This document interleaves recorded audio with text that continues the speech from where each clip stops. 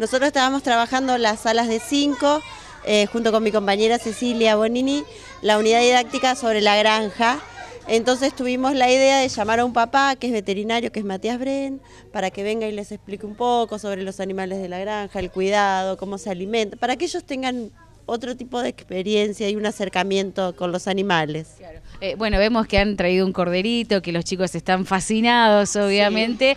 Eh, y bueno, la idea es un poco también esto de que tengan una, una visión más real, ¿no? A pesar de que nosotros estamos aquí en San Carlos y que no es una urbe tan grande, a veces estas cuestiones este, no las tienen tan cerca los chicos, ¿no? No tienen la posibilidad de, de más que ver, digamos, a algunos de los animales más domésticos. Sí, no, ahora ya no es como era antes, que por ahí tenían que los conocían más a ese tipo de animales. Y bueno, y nació de él la iniciativa porque hablábamos, decía un power, por ahí un power, una lámina, o sea, eso se lo podemos mostrar nosotros. Y surgió de él la iniciativa de traer animalitos y bueno, ellos, como verán, chochos unas palabritas eh, con Matías Bren, bueno, justamente para eh, saber de qué va a constar, ¿no? Esta charla con, los niños del nivel inicial. Buen día. Hola, buen día, ¿cómo te va? Eh, los chicos están trabajando con animales de la granja, entonces la idea era mostrarle algunos animales en vivo y en directo, así que tenemos un corderito y un pato para que vean y bueno, charlar un poco sobre los temas que están tratando.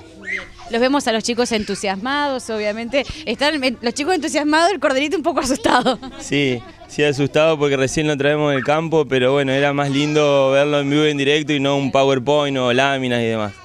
Eh, bueno, la charla va a ser hoy a la mañana con todos los chicos de, de la salita, ¿no? Las salitas de 5 años de la mañana y de la tarde.